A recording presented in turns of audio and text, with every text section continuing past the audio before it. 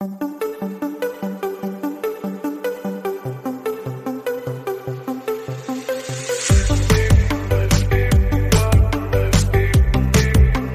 this is Kenya podcast preacher. Welcome back to my podcast, Deep Waters. This podcast is brought to you by Applied Strengths Ministry, where we believe working together in our strengths is the effect of working out the will and calling of God in and through our lives. The title of this message is Kingdom versus Priesthood. Okay, so first things first. This morning, February 9th, 2024, I did an interview with a person from Wavve.co, which is an audio to video conversion company. I wasn't interviewing, but providing feedback as to my thoughts on using their platform. Now, how nice of a world would it be if every company actually wanted to know if they were one, providing a product that the public wanted and doing it well, two, seeking input from the end user on its effectiveness and userability, and three, asking if they could make it better for you and future users.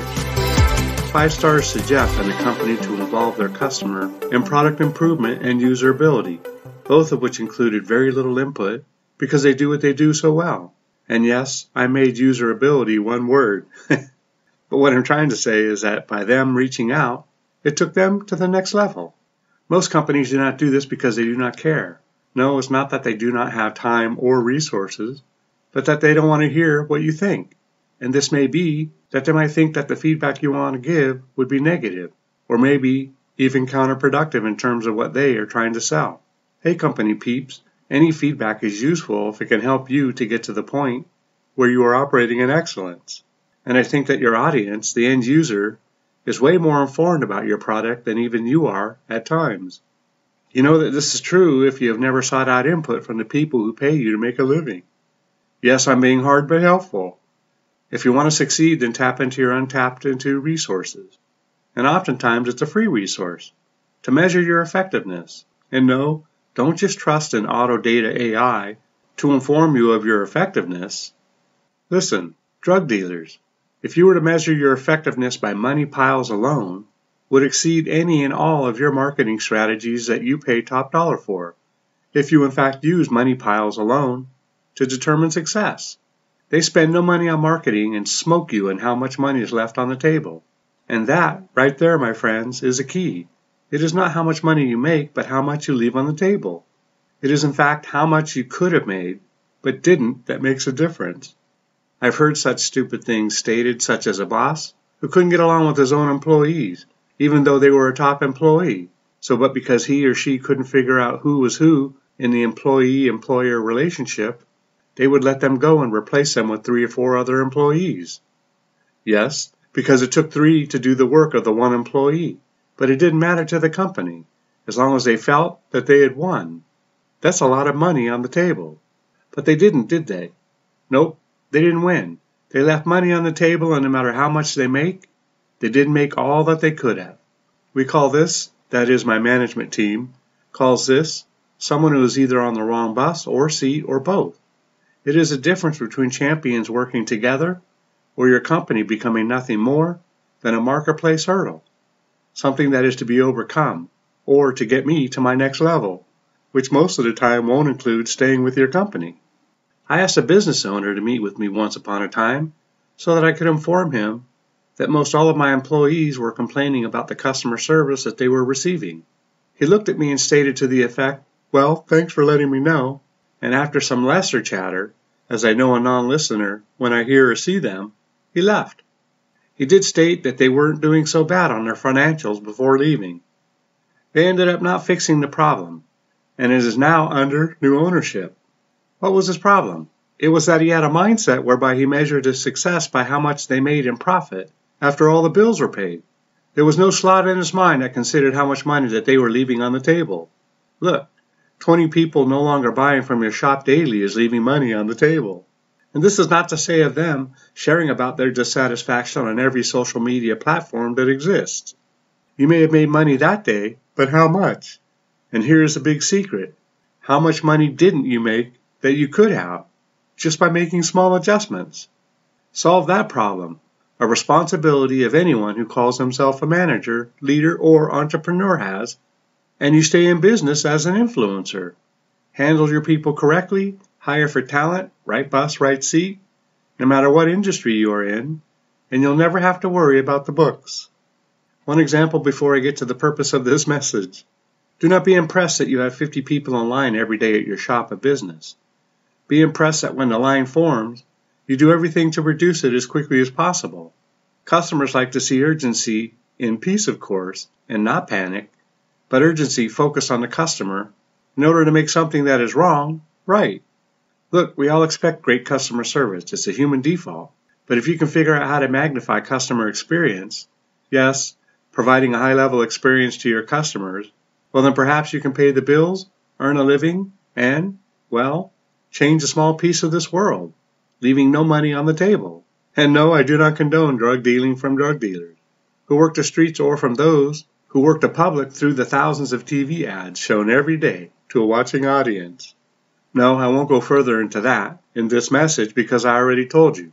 I have to get back to the original point of this message before you hang up on me. All of this from an interview, Ken? Nope. Before that, I was listening to a YouTube video about how a guy, well, two of them, shifted from working full time in the ministry into a career job and sharing with their audience how their journey was going. And so that, along with the interview, is what sparked up the conversational thoughts in this message. So then what is this message really about? It is about those who make the transition from paid full time ministry and then they leave that gig and move into a secular or Christian based marketplace business. And in truth, I maybe should just say that it is more about those of us working in both worlds. And all who are authentically born again are doing just that. I work in government, and I have a Bible based podcast. And yes, I touch a whole bunch of other things that may involve Christianity or those who are not. Listen, King David, government worker. Solomon, government worker. Daniel, Shadrach, Meshach, and Abednego, all government workers. I could go on. All the generals in the Old Testament, government workers. I'm not saying that government is the best job. I'm just saying there was a lot of government workers in the Bible. If I work and get paid in ministry, then most of my time will be expended to equip the saints for the work of ministry and making disciples. Not all, and it does depend on what position I am in. For example, an evangelist will equip others to do what he or she is doing and will even have a disciple or some. But they will be anointed to work with the lost, anointed to preach the gospel at that level. I call it the commercial fisherman level. Anyways, most who work in the ministry will be working with others, equipping them for the work of ministry and making disciples. Okay, so but now then, what about those who have a job? so many excuses have been made regarding this question, right? I have a job and I do not have time to invest in the kingdom things. Oh, the surprise that may come upon them that prescribe to that sort of bent thinking. If, and now is the time to really pay attention, you have a job, all who know you, even some who only know of you, should know that you are different, different than other humans who do not know God. Now, I didn't say that you should go about preaching the gospel to all those in whom you work with. After all, you are getting paid to do something. But rather, those who work with you ought to see by your behavior, by what words come out of your mouth, by how you treat those in positions above you. Yes, you preach by your actions and deeds. Then they will see and understand that you are different. And but if you do it well enough, then they will also be drawn to you when they hit the wall and need some of whatever is on your life in their life. And now, but also there is this other thing that when you work in a job and do ministry, yes, work and do ministry, and I'm not talking about being a good father or mother, just behaving as you ought in secular events, living the good Christian life, which thus far in our times, in this America, has encountered very little in the way of resistance. No, I'm talking about being in some sort of ministry or helping a ministry while also having a job. Is this not the majority of us who call ourselves Christians? Yep, Kim, it is. Radio. but so then why are so few doing it? And but even when someone who is wired for their role in ministry leave it so that they can buy bread every day, why do they fall under persecution by those who, for example, may be in full time ministry? Even the sheep complain when that happens. Listen, if somebody leaves the church and goes to make a living, but then they take that living that they're making and they invest it into other people's lives the way that God would do it, hence they are manifesting the kingdom of God on earth through their career or vocation, why would you criticize them? Shouldn't you also be doing the same thing? well, and personally, I don't think there's any room in the church to complain about people when they do that, because the church isn't doing their job. But I've already shared about that. Well, hmm, what of it, Ken? Well, this is my take on it, and it is way bigger than this message, and what little is contained in this message is not the entire answer. Well, and now that I have given some thought as to how to answer such a big question, I have decided to touch on the smaller of the matter. We have been trained by the world how we should act as Christians. They would prefer that we all look like light switches. When the time is appropriate and our faith may be needed, then they can switch us on. But then, when it is not needed, and this is usually in fact when it is most needed, they prefer to have us switched off. Well, do you have a verse to support this? Yes, all of the Bible. Yes, you see in the Old Testament the prophets were taken out when they spoke what the people needed to hear. And in the New Testament, we killed such a one who was perfect in every way. And he too spoke of the things that we needed to hear. And we killed him because, well, we didn't want to hear it. Tell me we're different today. So, well, now how to end a very incomplete message. Working in the world as a Christian is working or bringing the kingdom from heaven to earth. Working in the priesthood is mostly about equipping people how to work in the priesthood and in the kingdom. Your ministry is your job if God hasn't called you into anything else. Your ministry is your students if God hasn't called you to anything else. If you are a kingdom worker and you end up with lots of resources, then use those resources to push the ministry further down the road. I just completed a message titled Clearing Up the Denominational Conundrum, so I won't go into what that is all about and how it affects the Christian community today. But I will share that as I finished and published that message, it occurred to me that denominational and non denominational titles are or may be prophetic in some sort of way.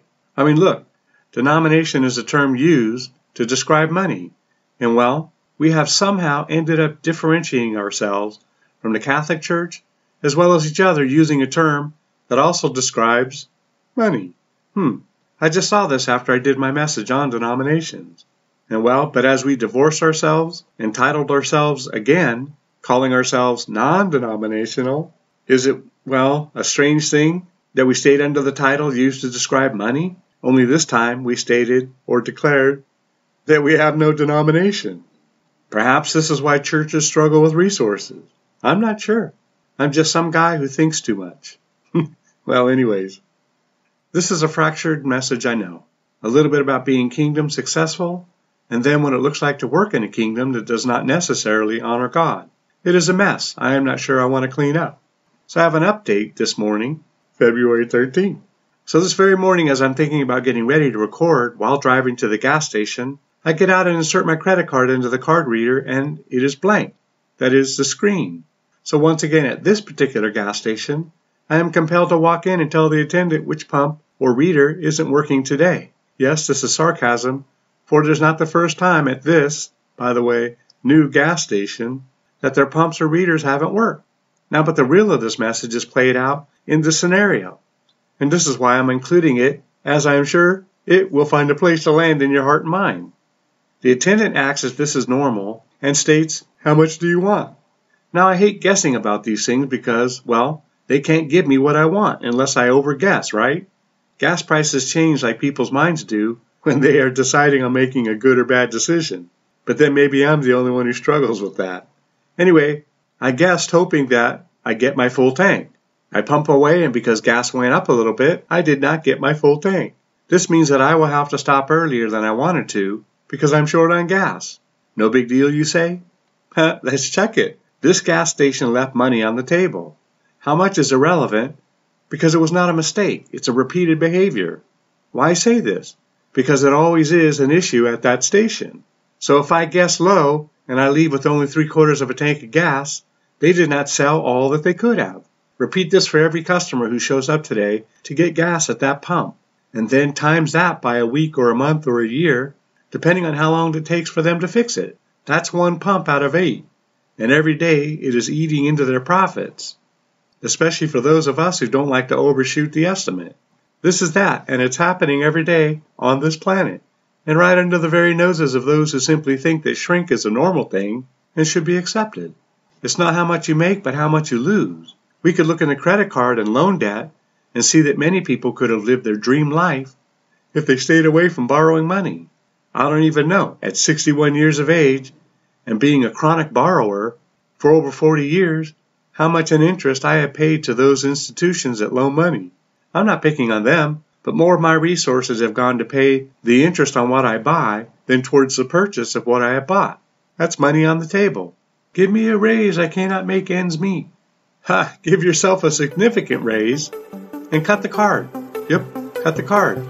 Just one at a time. And watch how much of a raise you give yourself. Oh, and you want more of a raise? Then consolidate your debt with personal loans. And then the personal loans with bank loans. You can raise yourself right up out of debt, never having received a raise from your employer. Now, if you doubt me, don't, because I have done this several times in my life, completely avoiding bankruptcy. And even now I'm doing this so that I can retire this August 10, 2024. Yep, I'm retiring after 28.8 years in government and will double down on this podcast and on writing books. I will go out helping all who want to learn from a fool that was rescued from himself by God. Listen, debt is no joke, and but I can tell you that God can give you creative ideas for getting out of that mess if you are smarter than me, which is highly probable, and you can stay out of that debt and build some wealth. What? Why? So that you can sow into people's lives and situations. Yes, money is a life preserver for those sinking under the quicksand of debt. You can be that person, and in these days and in the days to come, financial issues will increase. This is kingdom thinking, not necessarily church thinking, as they too seem to be struggling for resources all of the time. Perhaps they should name themselves after a larger denomination. yes, be specific, church. Which denomination are you exactly? Hey, I love the authentic Church of God. The fake stuff is, well, just fake. Well, that's it for today. Remember, it's not what you find wrong or disagree with regarding these messages, but what you can take away from them. Together, we can do more to impact the kingdom than if we work alone. Let's flip the script and kill, steal, and destroy the works of the enemy and create space for the light of life to shine through into people's lives. Find us eating, click on the like and subscribe button. Let's build this ministry together. Thanks and see you next time in Deep Water.